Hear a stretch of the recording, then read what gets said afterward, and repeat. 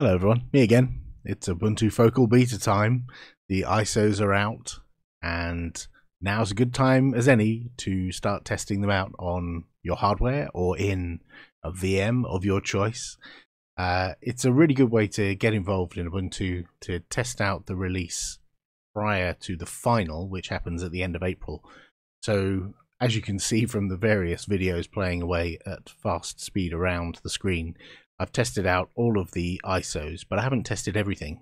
Uh, so I've just done a clean install of each of the flavors of Ubuntu, and you can see them all whizzing along around the screen.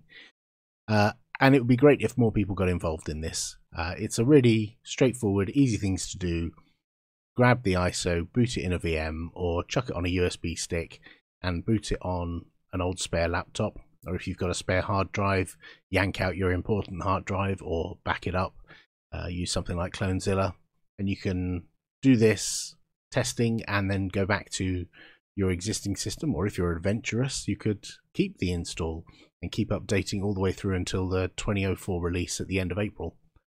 So if you've got some time over the weekend or the coming week, maybe you're home alone and got nothing else better to do, uh, then this would be a great way to get involved. And I'll put links underneath the video to let you know how you can do that. Thanks for watching. Have a good weekend, everyone.